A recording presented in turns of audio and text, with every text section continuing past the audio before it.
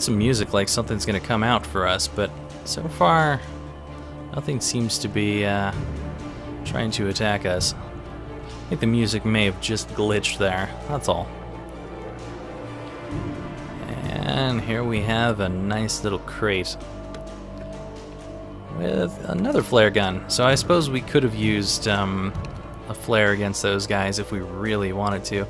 But when I saw there was only two, it really didn't seem like it was uh, a necessity.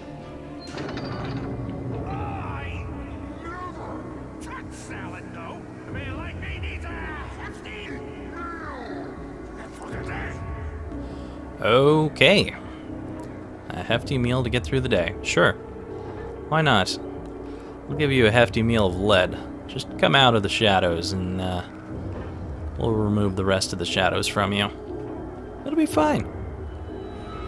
Uh-oh. Uh-oh. I got three of them coming. I think I'm going to pull this out. Um, let's wait till they're together, though. And now. Nice. That worked out pretty well. Check out what we got going here. Wake lies to the sheriff. The cabin on Cauldron Lake? She asked. The sheriff looked at me suspiciously. The early morning light flooded through the office windows. I would probably never have gotten out of the woods alive without her help. But I couldn't tell her the truth of what I'd faced the previous night. She'd think I was lying or crazy. She'd lock me up, and she wouldn't help me find Alice. Huh. Interesting. Whoops, forgot to hit F5 there. Whatever. Not a big deal, so we can't really get in here yet. Nice. Shotgun. I might go ahead and use this for the moment since we've got uh, 12 rounds. And it's the old uh, use it or lose it proverb. Go ahead and open this. And that should open that gate out there. Let's check out what's on TV.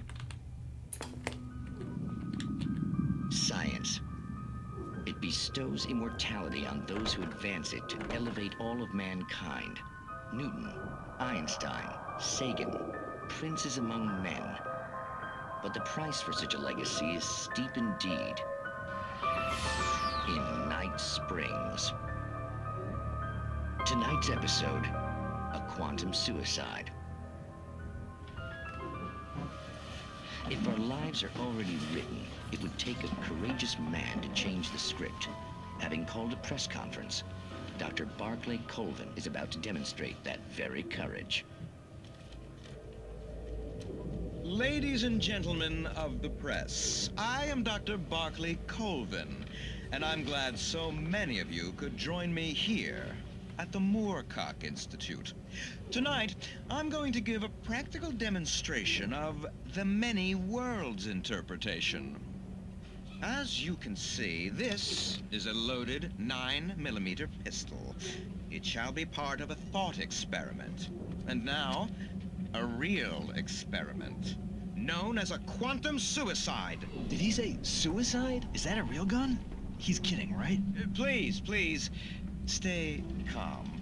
There is no risk. Observe what occurs when I place the weapon against my own forehead. Now, you might think this round is merely a dud. Not so. Observe the flower pot. And yet, I myself cannot be harmed with this gun. With each pull of the trigger, two new realities branch off. One in which the weapon didn't fire, and one where it did. With my machine here, I have ensured that this reality is always the former. I have bestowed upon myself quantum immortality. Under no circumstances can this gun kill me. Uh, So wait, wait, wait. What you're saying is that every time you pull the trigger, in another reality, you die? Yes, yes, of course, but that's completely trivial. There's an infinite number of things that could happen at any moment, and they always do happen somewhere. The point is, this one thing did not happen here. You're insane, Colvin. Insane? insane? Hey, was this thing supposed to be plugged in? I stumbled on it. You fools! Gaze upon quantum immortality.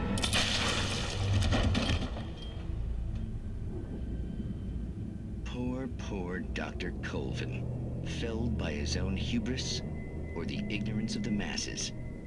Perhaps he should have left the crate unopened, the decaying atom unobserved. Curiosity often kills the cat. In Night Springs.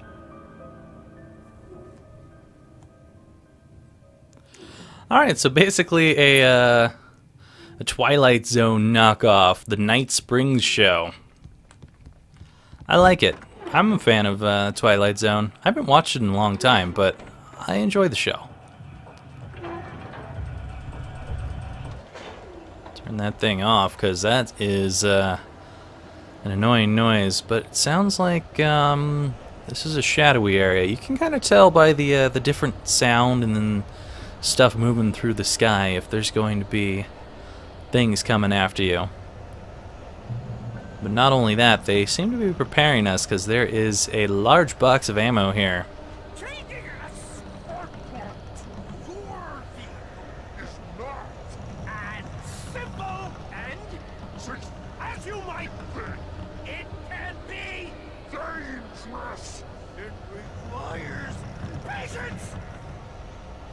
Does it now?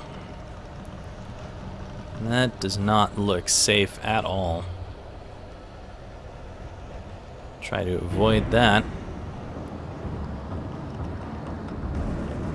Nope, looks like we got Stucky here. And some of his best friends. the engine block takes hours to cool. Coming tools.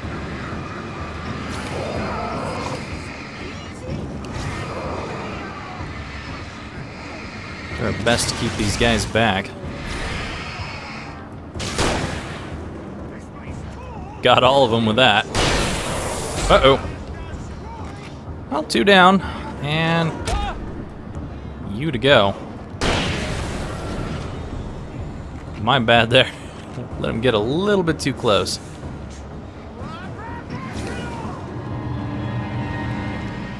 Try and keep these guys at a greater distance. Whoa, someone's moving fast. Whoa, watch out. That was close. Hey, I got a flare gun for you, buddy. I bet you'll like it. Haha. Stucky's body vanished, leaving behind only a lifetime of nightmares to come, assuming I'd reach the lights at the gas station alive. Alright, well, we're okay. Stucky's not all that hard if you keep at least uh, one flare with you. Go ahead and reload this thing so that we don't need to reload it should anything come out. But yeah, that flare gun can come in really handy against uh, any um, bosses in this game. So I highly recommend you try to keep the flare gun for that purpose. But sometimes it's, it's just not possible because there can be a lot of guys that surround you and you really need to do something about it when that happens.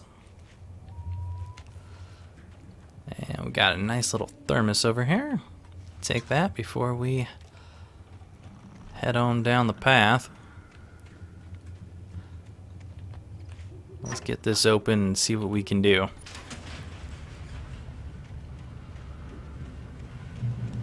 Looks like we're almost at the gas station now. Almost. Hey, that looks familiar. I familiar. recognized the parade float I had seen in Bright Falls when I first arrived with Alice. Yeah, except this one looks more busted up. What the hell happened to it? It's like the uh, the Silent Hill effect where things are kind of messed up when you're in the Silent Hill After dark the world. insanity I had just experienced in the darkness, the lights of the gas station felt comforting. At least for a moment, the sane world reasserted itself. Stucky's countryside or uh, country store and gas. Got uh, Breaker's Farm apples, pick your own apples. What's going on up here? Washington Motor Oil. So is this supposed to be Washington State? Do they have those kind of cones in uh, Washington State? The ones with the uh, orange and white? I don't know. I mean, I've been to Washington before, but I don't remember those kind of cones. Soda Light. The Deer Fest had been two weeks away when we arrived. If the day count on the banner was right, I was missing a whole week between the night we got here and now. Hmm. Does this thing only have diesel? I like this thing. I've got a diesel car and I can never uh, I can never find any places that have diesel. It's a pain in the ass. Well, let's check out what this manuscript page is about. Stucky is taken. Stucky spat on the garage floor and tried to shake the cobwebs from his head. Ever since the couple never showed to pick up the keys, things had been fuzzy. Something, a feeling caught his attention. Stucky looked up and stared as his brain tried in vain to process the horror before him. He stumbled back, knocking over a can of oil. A black pool spread across the floor while he struggled for a brief moment, then let go as the unrelenting darkness engulfed him. That blows. I see something shiny. Huh. They've got unleaded only here. And I saw diesel at that pump. What gives? That doesn't make any sense. Is there any other pumps somewhere? I don't see any. I just see the diesel. Hmm. That's odd. Alright, so if we run down this way, we'll be going into darkness, but there is uh, something down this way worth getting. So we'll uh, we'll dash down here as fast as we possibly can. And probably have some people following us. This place is nice and blocked off, but we can grab this. Oh, hi. No thanks. Ow. No, get it away. I don't like you.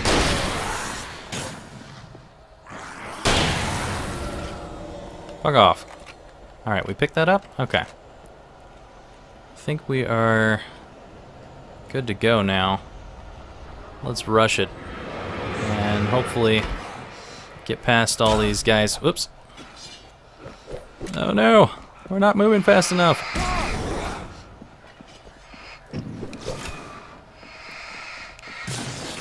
Stay back, you bastards.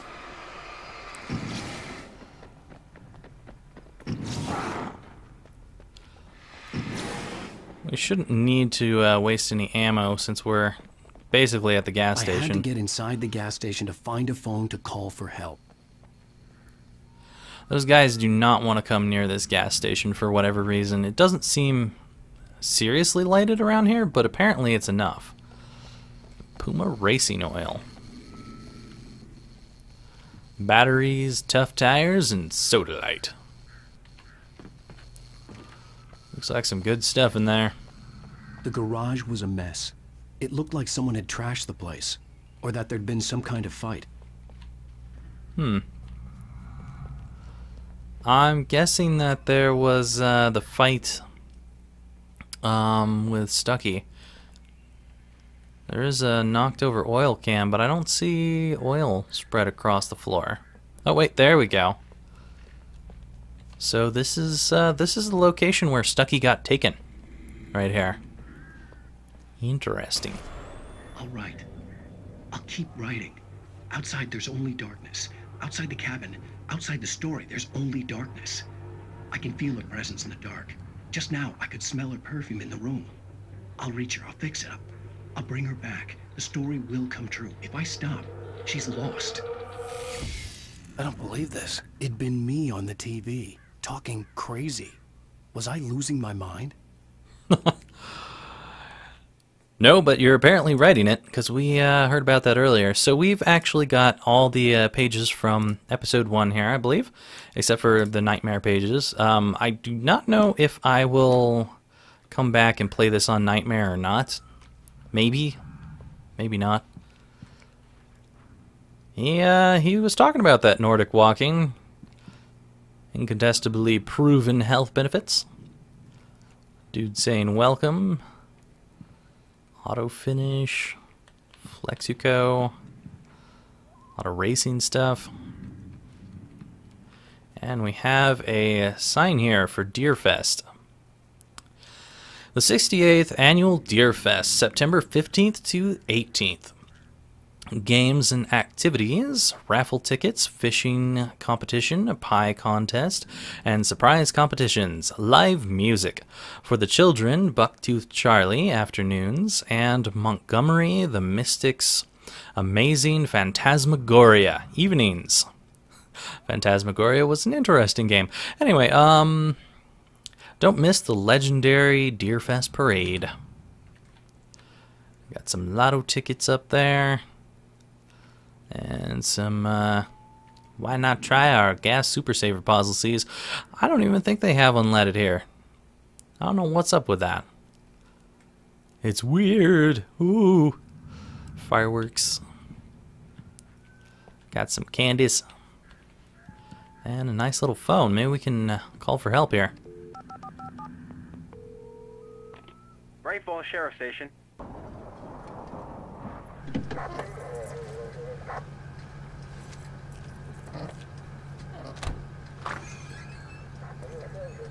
Oh, thank God, Sheriff.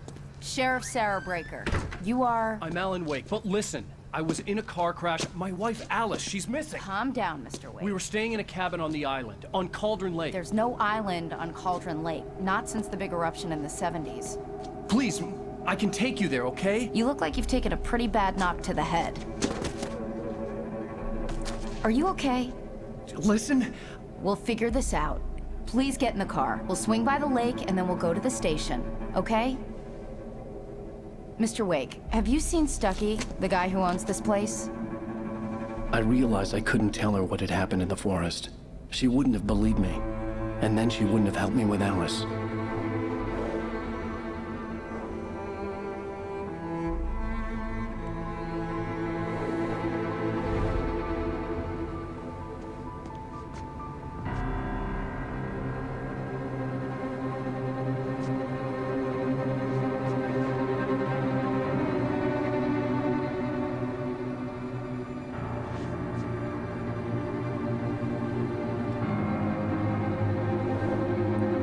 Alan makes some really goofy faces.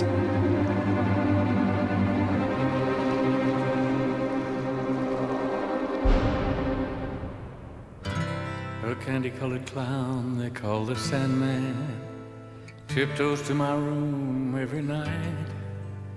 And just to sprinkle stardust and to whisper, go to sleep, everything is alright. So you can either sit around and listen to this song, or you can just skip it and we can move on. And I think we're gonna skip it. Previously on Alan Wake. I came to Bright Falls with my wife, Alice. Thank you for coming here with me. I thought maybe you could write here. I don't want to hear it. God damn it, Alice. Now, she's missing. Alice? Alice? Behind the wheel of a crashed car. I'm missing a week. I was attacked by shadowy men straight from a nightmare. The sheriff took me to the lake Alice and I had stayed at. But the cabin had disappeared.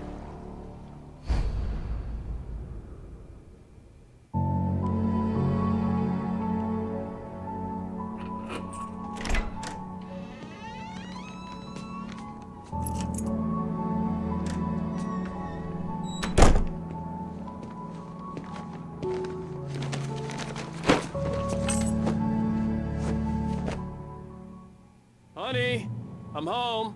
Back here, sweetie. How was it? Worst weather I've ever seen. You should put some coffee on. It'll warm you up. Alright, so next time we'll explore this uh, little house here that we have and uh, put some coffee on, I guess. Bye for now, everyone.